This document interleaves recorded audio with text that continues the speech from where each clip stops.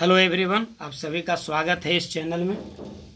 आज के इस लेक्चर में आप देखेंगे बीपीएससी टीआरई 3.0 पीजीटी मैथ्स के लिए प्रैक्टिस प्रॉब्लम देखिए क्वेश्चन क्वेश्चन कह रहा है कि if a line makes angles 90 degree 60 degree and 30 degree with the positive direction of the axis X Y and Z respectively then find the direction cosine इस type का सवाल T R two point zero में भी पूछा गया है। T R E one point zero में भी पूछा गया है। तो डायरेक्शन कोसाइन से रिलेटेड सवाल बहुत ही इम्पोर्टेंट है, ज़रा समझिएगा। तो समझना क्या है इसमें?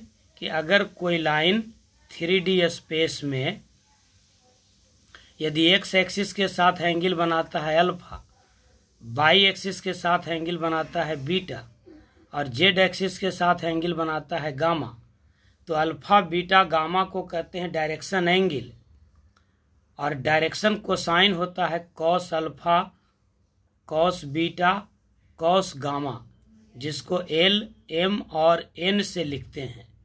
और इनके लिए फॉर्मूला होता है L square plus M square plus N square बराबर वन इतना बार ये सब फॉर्मूला हम आपको बता चुके हैं वीडियो के माध्यम से कि सब याद हो गया होगा।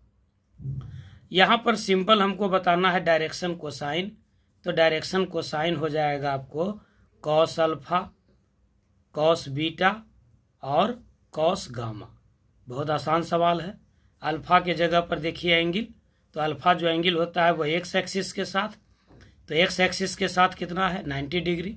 चूँकि रेस्पेक्टिवली लिखा हुआ है क्रमशः तो जो पहले है वो एक्स बाद में बाई और सबसे बाद में जेड। तो अल्फ़ा हो गया 90 डिग्री तो कॉस 90 क्या हो जाएगा? ज़ीरो। बीटा हो गया 60 डिग्री तो कॉस बीटा कितना हो जाएगा? कॉस 60 कॉस 60 का मतलब कितना? कॉस 60 का मतलब साइन 30 यानी वन बाई टू। और गामा है आपका 30 डिग्री तो कॉस 30 कॉस 30 मतलब रूट थ्री बाई टू तो आंसर हो जाएगा आपका ज़ीरो, वन बाई टू और रूट थ्री बाई टू ये आपका डायरेक्शन कोसाइन हो गया। Zero one by two root three by two option हो गया ए वीडियो को लाइक ज़रूर कीजिए चैनल को सब्सक्राइब कीजिए, और अपने दोस्तों में इसे शेयर भी कीजिए। अगले क्वेश्चन की ओर बढ़ते हैं। अगला क्वेश्चन देखिए। ये B P S C T R E two point zero P G T math में पूछा जा चुका है सवाल। कॉस माइनस सत्रह सौ दस डिग्री का वैल्यू निकालना है। तो कॉस माइनस सत्रह सौ दस डिग्री कैसे होगा? तो सबसे पहले तो आप यहाँ पर फॉर्मूला लगा दीजिए कि cos minus theta is equals to होता है कॉस थीटा कॉस और सेक पॉजिटिव में होता है माइनस थीटा के साथ। बाकी सभी निगेटिव में हो जाएगा। तो कॉस माइनस सत्रह सौ दस डिग्री जो है, वो एक्चुअली में है कॉस सत्रह सौ दस डिग्री। अब सत्रह सौ दस डिग्री को निकालने के लिए क्या करेंगे आप? आप इसको थ्री हंड्रेड सिक्सटी से डिवाइड कीजिए, सत्रह सौ दस डिग्री को। कितना बार में लग जाएगा? तो रोटेशन बता देगा, जो डिवाइड कीजिएगा तो कितना बार में लगेगा ये? फोर टाइम्स में लगेगा। तो three hundred sixty into four कितना होगा? ज़ीरो छो चौका चौबीस का चार बाकी दो, तीन चौका बारह दो, चौदह। माइनस कीजिएगा ज़ीरो ग्यारह में से चार गया सात, बाकी बच गया ये छः में से चार गया दो दो सौ सत्तर। यानी सत्रह सौ दस डिग्री का मतलब क्या हुआ? ये एक चक्कर लगाएगा तो तीन सौ साठ। दो चक्कर लगाएगा तो सात सौ बीस, तीन चक्कर लगाएगा दस सौ अस्सी, चार चक्कर लगाएगा चौदह सौ चालीस, और उसके बाद फिर जाके कहाँ रुक जाएगा?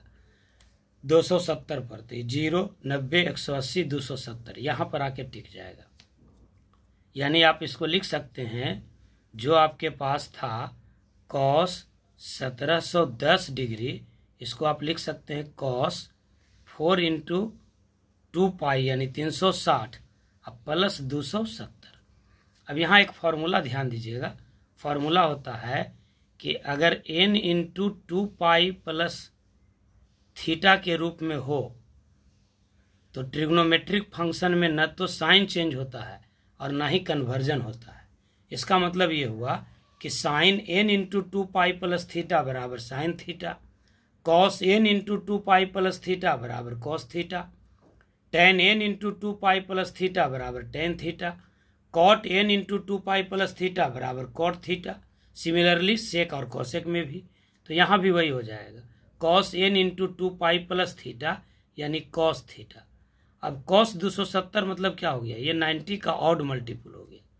यानी cos of three pi by two और आप जानते हैं कि जब जब 90 डिग्री का ऑड मल्टीपल मिलता है तो कॉस थीटा का वैल्यू ज़ीरो होता है। कॉस थीटा ज़ीरो कब होगा? साइन थीटा ज़ीरो कब होगा? इसको ध्यान में रखना चाहिए। इस सवाल बताने के बाद हम इसका एक कंसेप्ट आपको दे देते हैं अभी। तो पाई बाई टू के ऑड मल्टीपुल पर कॉस ज़ीरो होगा, इसलिए इसका वैल्यू क्या हो जाएगा? ज़ीरो तो आंसर हो गया इसका ज़ीरो ज़ीरो वाला कंसेप्ट देखिए, याद रखिएगा। कि साइन थीटा अगर ज़ीरो है साइन थीटा अगर ज़ीरो है तो तब कब मिलेगा ये? जब थीटा बराबर होगा एन पाई, यानी पाई के इंटीग्रल मल्टीपुल पर साइन थीटा ज़ीरो होगा। कॉस थीटा बराबर ज़ीरो, इसका मतलब थीटा जो है वो odd multiple of pi by two है। और अगर टेन थीटा ज़ीरो है तो थीटा बराबर होगा एन पाई। इसी प्रकार से कॉट थीटा अगर ज़ीरो है तो थीटा बराबर होगा odd multiple of pi by two. Odd multiple of pi by two तो आप बताइएगा कि सेक थीटा ज़ीरो कब होगा और कौशिक थीटा ज़ीरो कब होगा। जल्दी से बताइए। तो आपको आंसर मिल जाएगा कि सेक थीटा और कौशिक थीटा कभी ज़ीरो होता ही नहीं है। यहाँ होगा नो सॉल्यूशन यानी सेक और कौशिक का जो मान है, वो माइनस वन से वन के बीच में नहीं होता है। इसको एक बार ज़रा ध्यान दे दीजिएगा। इसका स्क्रीनशॉट ले लीजिए, दो चार बार इसको देखिएगा, याद हो जाएगा। अगले क्वेश्चन की ओर चलते हैं। अगला क्वेश्चन देखिए, काफ़ी आसान है। यह है sine of cos inverse three by five is equals to क्या? तो आप जानते हैं कि cos inverse x is equals to होता है sine inverse under root one minus x square cos inverse x is equals to यहाँ फिर से हम लिख देते हैं कि cos inverse x is equals to होगा sine inverse under root one minus x square अब आप इसको cos inverse three by five था तो cos inverse three by five को साइन इनवर्स में लिख दीजिए तो cos inverse three by five बराबर क्या होगा? साइन इनवर्स अब यहाँ कैलकुलेट नहीं करते, मन मन कीजिए। Under root one minus three by five का स्क्वायर यानी under root one minus nine by पच्चीस। तो पच्चीस में से नो जाएगा कितना? सोलह बटा पच्चीस। सोलह बटा पच्चीस का स्क्वायर रूट कितना होगा? चार बटा पाँच। यानी cos inverse three by five जो है, वो एक्चुअली में sine inverse four by five के बराबर है। अब आप सवाल देखिए। सवाल आपके पास क्या था?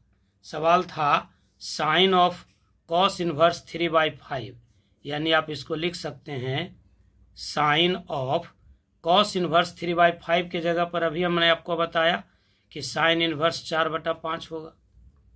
अब यहाँ फॉर्मूला लगा दीजिए कि साइन साइन इनवर्स थीटा बराबर थीटा यानी थीटा के जगह पर कितना? चार बटा पाँच। तो आंसर क्या हो जाएगा?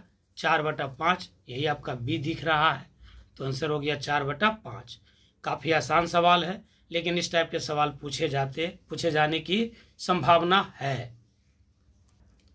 नेक्स्ट क्वेश्चन देखिए। मैट्रिक्स से है। क्वेश्चन कर रहा है let A is equals to ये एक थ्री बाई थ्री मैट्रिक्स है। मतलब ये स्क्वायर मैट्रिक्स है। तो आप जानते हैं कि किसी स्क्वायर मैट्रिक्स का डिटर्मिनांट पॉसिबल है। यानी इस मैट्रिक्स का डिटर्मिनांट संभव है। तो सवाल कर रहा है कि अगर ये कोई मैट्रिक्स है थ्री बाई थ्री जिसके एलिमेंट्स में one sine theta one minus sine theta one sine theta minus one minus sine theta one है, जिसमें थीटा ज़ीरो से टू पाई के बीच में है। तो ऑप्शन कह रहा है, दे रहा है कि ए का जो डिटर्मिनांट है वो क्या होगा? यानी एक्चुअली में आपको निकालना है ए के डिटर्मिनांट का रेंज तो सबसे पहले तो हम डिटर्मिनांट ऑफ़ ए निकाल लेते हैं। तो ए का जो डिटर्मिनांट है वो यही डिटर्मिनांट हो जाएगा स्क्वायर मैट्रिक्स है तो। क्या हो जाएगा? पहले रो में वन हालाँकि लिखना नहीं चाहिए, समय बर्बाद होगा, लेकिन कंसंट्रेशन बनेगा। तो आप भी इसको कंसंट्रेट कंसंट्रेट कीजिए इस पर। आर वन का एलिमेंट हो गया one sine theta one R two का एलिमेंट क्या होगा? माइनस साइन थीटा फिर वन और फिर साइन थीटा आर थ्री का element minus one minus sine theta और वन किसी डिटर्मिनांट को सोल्व करते हैं तो हम लोग ये प्रयास करते हैं कि इसके प्रॉपर्टीज़ को यूज़ करें। और ज़्यादा से ज़्यादा ज़ीरो किसी पार्टिकुलर रो या कॉलम में लाएँ। अगर इसमें कंसेप्ट में कहीं कोई कमी है तो आप प्लेलिस्ट में जाकर देखिएगा। डिटर्मिनांट का एक प्लेलिस्ट बना हुआ है, उसकी किसी भी लेक्चर को देखिएगा। खास करके पहला लेक्चर को देखिएगा, उसमें पूरा कंसेप्ट आपको मिल जाएगा। पूरा रिवीजन हो जाएगा, और अच्छा खासा वक्त कट जाएगा छोटा छोटा वीडियो है दस पंद्रह मिनट का वीडियो है, बड़ी आराम से सब कंसेप्ट समझ में आ जाएगा। तो डिटर्मिनांट के प्लेलिस्ट में जाइएगा, बहुत सारा सवाल भी वहाँ बना हुआ है।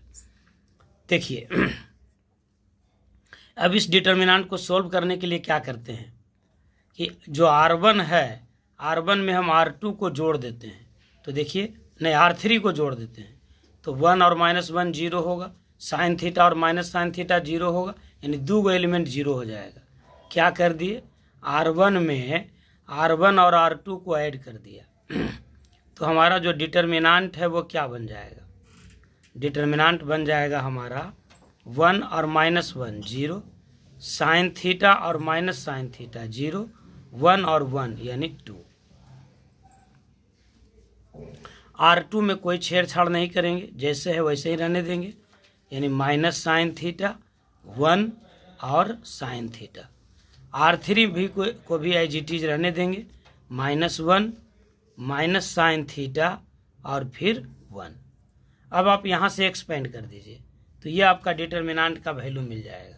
तो जब यहाँ से एक्सपेंड करेंगे तो ये ख़त्म होगा और ये ख़त्म हो जाएगा। यहीं पर डायरेक्ट हम लिख देते हैं। यानी ए का जो डिटर्मिनांट है वो क्या हो जाएगा? टू इंटू ये ख़त्म और ये ख़त्म। तो माइनस साइन थीटा गुना माइनस साइन थीटा यानी साइन स्क्वायर थीटा अब बीच में माइनस और फिर माइनस वन गुना वन, यानी माइनस वन, यानी वन प्लस में हो जाएगा। यानी इस डिटर्मिनांट का वैल्यू हो गया two into one plus sine square theta.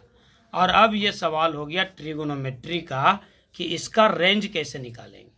तो आप जानते हैं कि साइन थीटा का जो वैल्यू है, वो माइनस वन से प्लस वन के बीच में होता है।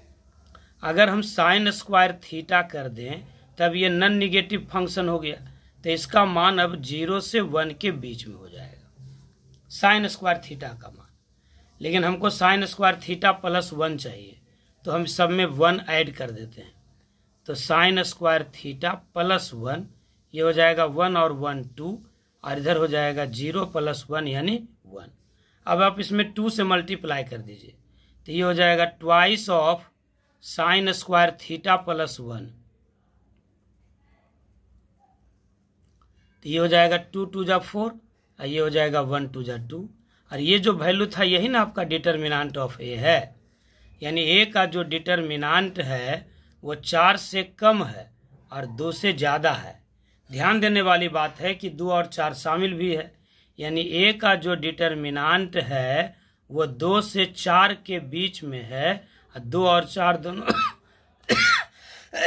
शामिल भी है। तो क्लोज इंटरवल हो जाएगा। यानी ऑप्शन आपका क्या मिलेगा? डिटर्मिनांट ऑफ़ ए जो है वो दो से चार के बीच और क्लोज इंटरवल लगता है कि ये ऑप्शन डी होगा। देखिए determinant of A belongs to two to four उम्मीद है कि आप ये सवाल अच्छे से सीख गए होंगे। एक बार इसको और आपको बनाना चाहिए। अगले क्वेश्चन की ओर चलते हैं। नेक्स्ट क्वेश्चन देखिए। अगला सवाल है F X is equals to है एक्स क्यू माइनस वन बटा एक्स क्यू तो सवाल कर रहा है, F of X plus F of one बटा एक्स क्या होगा? इस टाइप का सवाल अभी तक T R E one point zero और टू पॉइंट ज़ीरो में नहीं पूछा गया है। लेकिन फ़ंक्शन का ये सवाल कॉमन है, क्वेश्चन है एनसीईआरटी से रिलेटेड है तो इस टाइप के सवाल को एक बार आपको प्रैक्टिस कर लेना चाहिए। देखिए क्या दिया हुआ है? F of X is equals to दिया हुआ है, X cube minus one upon X cube. तो हम पहले निकाल लेते हैं F of one by X. तो F of one by X का मतलब क्या हुआ? F of one by X का मतलब हो गया कि फ़ंक्शन में जहाँ जहाँ एक्स है, फ़ंक्शन में जहाँ जहाँ एक्स है, उसकी जगह पर वन बटा एक्स। तो एक्स के जगह पर रख देंगे वन बटा एक्स। तो ये हो जाएगा वन बटा एक्स का क्यूब माइनस वन बटा एक्स के जगह पर वन बटा एक्स यानी वन बाई एक्स का होल क्यूब और इसको हम फर्दर एक्सपेंड कर लेते हैं। तो ये हो गया वन बटा X cube minus one upon one upon X cube और इसको फर्दर एक्सपेंड कीजिए। तो ये क्या मिल जाएगा आपको? ये हो जाएगा one upon X cube minus ये ऊपर चला जाएगा। One upon one upon X cube यानी one into X cube by one, यानी एक्स क्यूब। अब इस दोनों को आपको ऐड कर देना है। एफ़ एक्स और एफ़ वन बाई एक्स। तो एक्स क्यूब और एक्स क्यूब कटेगा। वन बाई एक्स क्यूब और वन बाई एक्स क्यूब कटेगा।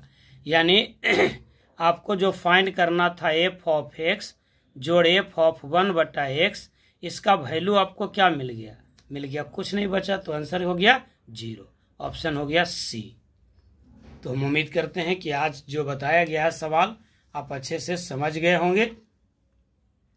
वीडियो को लाइक कीजिए, चैनल को सब्सक्राइब कीजिए और ज़्यादा से ज़्यादा दोस्तों में इसे शेयर कीजिए।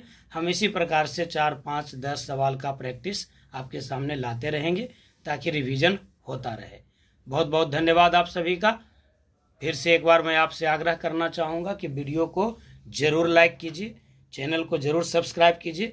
अभी भी एनालिसिस हम देख रहे थे तो वीडियो में जो व्यू जा रहा है, इसमें लगभग 82 परसेंट व्यू ऐसे जा रहा है जो चैनल को सब्सक्राइब नहीं किए हैं। मतलब देखते हैं, लेकिन सब्सक्राइब नहीं किए हैं। खैर, कोई बात नहीं। लेकिन आग्रह हम आपसे ज़रूर करना चाहेंगे कि वीडियो को लाइक ज़रूर कीजिए कमेंट भी कीजिए।